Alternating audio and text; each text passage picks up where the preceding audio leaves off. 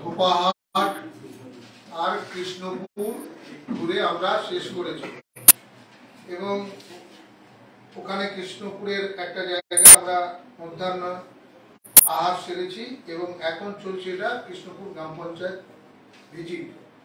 আমাদের এখানে প্রধান ইনচার্জ আছে, আমাদের সদস্য সদস্যরা আছেন।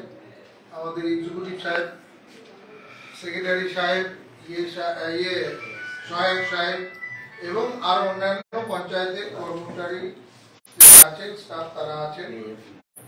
এখন আমাদের এই দিদি সুরক্ষা কবচে বিভিন্ন জায়গায় গেছি, যেমন আমরা গিয়ে কিছু মানুষ স্যানিটেশনের জন্য বলেছে।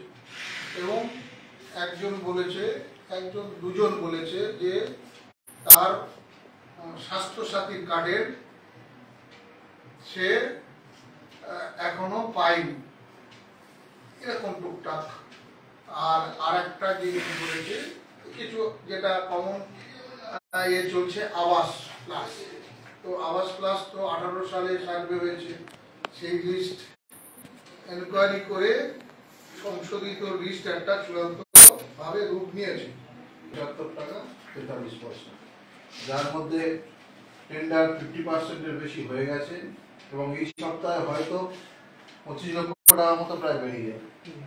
আচ্ছা পিবিজি আইবিআরটি তে আছে সাত লক্ষ চল্লিশ হাজার ছশো বারো টাকা।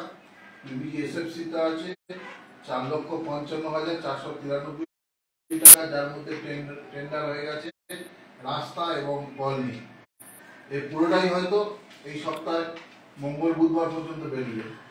যেহেতু ফিফটিন কিছু সিস্টেমেটিক অপারেটর করতে হয় ওই জন্য এটা একটু দেরি হবে তবে এই সপ্তাহে ফিফটি পার্সেন্ট বেরিয়ে যাবে আশা করা যাচ্ছে।